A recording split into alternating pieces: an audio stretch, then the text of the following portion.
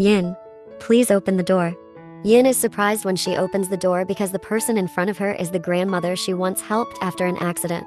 Oh, please come in, Grandma. Who is it? She's the grandma I helped that time, Mom. Please have a seat, Grandma. I'll get some drinks. No need to trouble yourself. I actually need to talk to you and your parents. Is there something you want to tell me? I came here to discuss the proposal I have for your daughter. A proposal for Yin? Yin's mother still can't believe it. Why is this happening all of a sudden? Yes, I want to propose to Yin for my grandson. But why my daughter? Because your daughter is a perfect match for my grandson. I believe she can make my grandson happy. Yin is a good girl. That time, if Yin hadn't pulled me, I would have been hit by the car. As a result, Yin got hurt because of me. If she's this kind to a stranger, she will surely be kind to her husband. A girl like her is what I've always dreamed of for my grandson. But I need to discuss this with my husband first, and we also have to consult with our daughter. Alright? Please talk to your husband about this. I will come back tomorrow to get your answer. I'll take my leave now. Let me escort you, Grandma. Yin escorts Mrs. Reason's departure until the front yard of her house. Yin, please consider my proposal about this engagement. I hope you're willing to accept it. I am counting on you, Yin. I will try to think about it, Grandma. Thank you, Yin. In that case, I'll leave now. Goodbye, Grandma. Be careful on the road.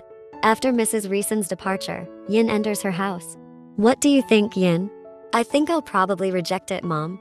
Until when will you be like this, Yin? Is it because of him again? Enough. Open your heart, Yin. He's not the only man in the world. Mom, I'm still not ready. It's not that you're not ready, but you don't want to try to forget him. So, I have to marry someone else while my heart is still for someone else? Is that it, Mom?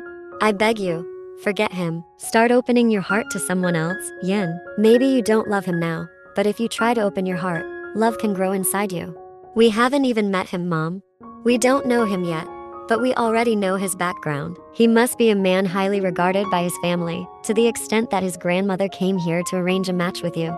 His family background is clear, Yin, and you have the support of his grandmother. Compared to your ex-boyfriend, who is unclear and irresponsible, he doesn't even bother to inform you. Why can't you forget him? He doesn't even care about you. Honestly, Yin is still confused, but she hopes the decision she makes tomorrow is the best for her. Alright, if her parents approve of this proposal, Yin will also try to accept it. Perhaps it's time for her to open her heart to someone else. The next day, JK is currently on his way to Yin's house because his grandmother told him to come to his future wife's house. JK immediately went there. Initially, he refused to come, but his grandmother threatened to replace JK as the CEO with another male cousin if he didn't obey her. Yes, his grandmother is currently matchmaking him with a girl, and whether he likes it or not, JK has to meet that girl. After contemplating the threat from his grandmother, JK finally decided to accept this arranged marriage.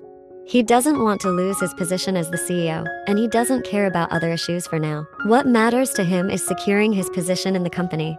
As for the woman he will be engaged to, JK also doesn't care. After all, he will not love that woman. His heart still belongs to someone from his past. He gazes at a modest house, quite different from his own. With a deep breath, JK rings the doorbell of that house. Meanwhile, inside the house, Yin's family and JK's grandmother are chatting with Yin's parents. Doorbell rings.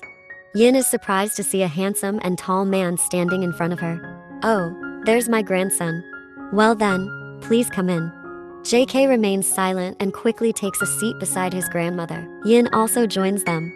Alright, now that both families are here, let's start the conversation about the relationship between my grandson and your daughter.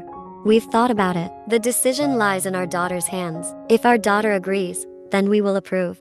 So, what's your answer, Yin? I accept. And what about your grandson, ma'am? Does he accept this marriage? JK's grandmother looks at him sternly, urging JK to say something. I have agreed to all of this from the beginning. JK's grandmother and Yin's parents are pleased with the ongoing relationship. However, JK seems indifferent and only wears a flat expression after stating his approval. Yin glances at JK. Although it seems like she is starting to like the man in front of her, she doesn't see any joy on JK's face. Yin wonders if JK is forced into accepting all of this or if he's thinking about something else. Yin quickly dismisses any negative thoughts about JK. After chatting for two hours, JK's grandmother and JK bid farewell to leave Yin's house. Currently, JK is sitting in his grand chair, gazing at a photo of him with the woman he loves, Nari. It has been five years since she disappeared without a trace. Back then, she said she would marry JK once he became a successful CEO. Now, JK has fulfilled her wish, but for five years, Nari has been nowhere to be found. JK has tirelessly searched for the woman he loves. However, it has been futile, she seems to have vanished into thin air. But JK won't give up. He'll wait for his lover to come and fulfill her promise. Where are you, Nari? In the past, JK introduced Nari to his parents. However, JK's mother disapproved of Nari. Understanding his mother's disapproving gaze, JK could only hold Nari's hand to give her strength. After Nari visited his house, JK never saw her again. He felt confused and overwhelmed, searching desperately for Nari's whereabouts. JK is truly devastated because Nari left him without a word, but because JK loves Nari deeply, he will wait for her to come and explain why she left. Honey, JK, are you at home? Goodness, So Sohyun, why are you yelling like that? Mrs. Rayson, annoyed by her daughter-in-law's shouts, responds, Oh mom, you're here, since when? Can't I visit my son's house? It's not like that, Mom. I mean, I'm confused because usually, you inform me or Jinwon, right? I deliberately didn't inform you because I know Jinwon is busy at his office, and you're busy with your vacation. But it seems you came home today? Yes, Mom. I just arrived home. So where is JK now? Hasn't he come back from the office? He's currently at a bridal fitting and preparing for other wedding needs. Mrs. Rayson sips her tea that has just arrived. What do you mean, fitting for a bridal gown? I've decided that JK will marry a girl of my choosing in a week. What? Mom, why wasn't I informed? Why didn't you tell me? I'm his mother, and besides, I already plan to marry JK to the daughter of my socialite friend. Sohyun, feeling irritated with her mother-in-law, expresses her frustration. But I've informed Jinwon, and he agrees with me. I thought Jinwon had told you. That's why I've taken this step. But I haven't agreed yet, Mom. And why did my husband make this decision without informing me? Please cancel this marriage. I don't approve. I can't. And besides, JK has already agreed. So, this marriage will proceed, and you have to give your consent. If not, I'll instruct Jinwon to revoke all the assets he has given you. Mrs. Rayson threatens Sohyun, who reluctantly agrees to the marriage. Sohyun had planned to marry JK to her friend's daughter, a beautiful and wealthy girl, to boast at her socialite gatherings. But now, Sohyun has to bury her desires. She's very curious about her future daughter-in-law and wonders if her mother-in-law arranged JK's marriage with the daughter of a prominent businessman. Mom, what about my future daughter-in-law? Is she from a successful business background, or the daughter of another company's CEO, or a director, or maybe the daughter of a conglomerate? JK's mother inquires, eager to learn more about her future daughter-in-law. She doesn't fall into any of the categories you mentioned. She's just an ordinary girl from a humble family but they are good people. Besides, I'm only looking for a woman who can make JK happy and transform him for the better. I'm not seeking a woman with money who can't take care of JK. Mrs. Reason's response changes the expression on JK's mother's face to irritation. Oh my. What is this? I'll be embarrassed if JK really marries that girl. My socialite friends will mock me. But mom, what if many people ridicule our family for having a daughter-in-law from a lower class? No one will speak like that because our family doesn't care about caste, whether high, middle, or low. What matters most is the behavior of the daughter-in-law of this family. If anyone speaks ill, I won't care as long as my grandson's future wife is a good woman. Mrs. Rayson states firmly, but Sohyun, hearing her mother-in-law's narrative, can only sigh deeply. In that case, I'll go to my room, mother. JK's mother says, then leaves, pulling her luggage and some shopping bags she bought during her vacation in Paris. Mrs. Rayson, seeing her daughter-in-law leave, can only shake her head. She knows why her daughter-in-law is questioning the details of her future daughter-in-law. She is also confident that her son Jinwon didn't inform his wife about this because Jinwon knows very well about his wife's character. He certainly anticipated that his wife would sabotage their child's marriage. Mrs. Rayson also knows that Sohyun will do the same thing she did to her son's first wife, the wife of her eldest son. She won't let Yin experience the same fate as Jinri, her son JK's sister-in-law. The cases are different Jaehyun and Jinri love and support each other, while JK and Yin might still not have feelings for each other. Therefore, Mrs. Rayson must try to shield Yin from intimidation from JK's mother so that Yin does not withdraw from this marriage. A week has passed, and today is a sacred day for both JK and Yin. They are about to be bound as husband and wife. The event is attended by many guests, including business associates of JK's father, JK's grandmother, and socialite friends of his mother.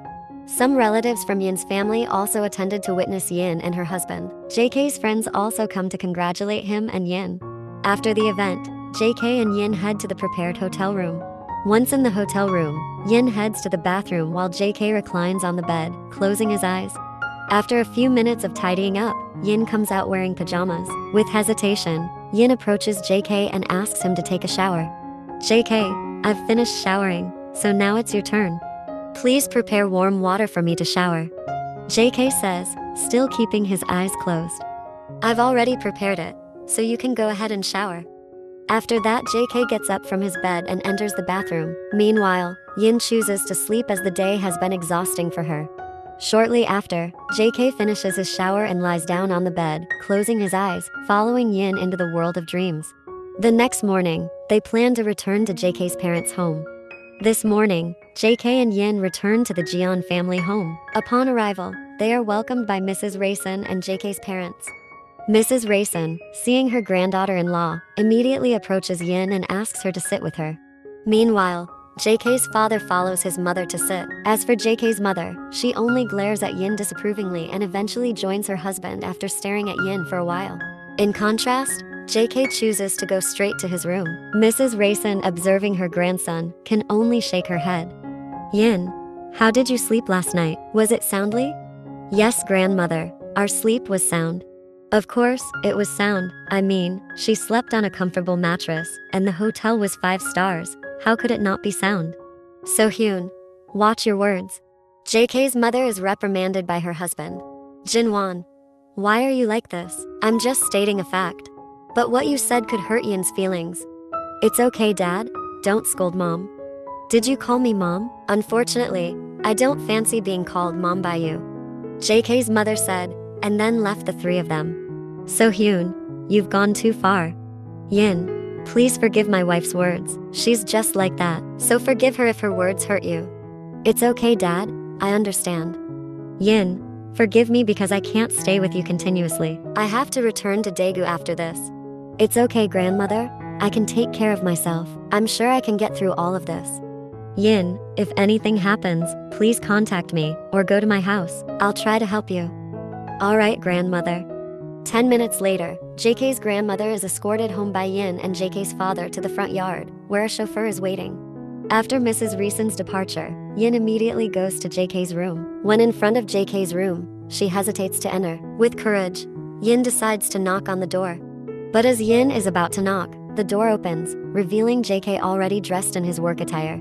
Come in, I'll be going to the office. Maybe I won't be home tonight, so there's no need to wait for me. Yin just nods in understanding. After saying that, JK goes to the office. With hesitation, Yin enters JK's room, the room she will occupy starting today. JK, you just got married. Why are you already at work? Guanlin, JK's secretary, comments. What should I do? Just stay at home all the time? You know that's not my style.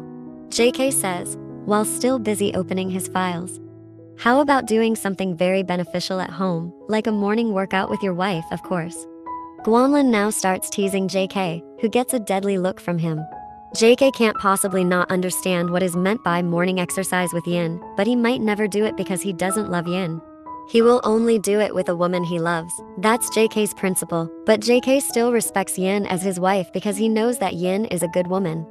Since the incident a few years ago, it has been challenging for him to open his heart to a woman. Although he has hired many women to be his pretend girlfriends so that his grandmother won't withdraw his position, he won't touch Yin.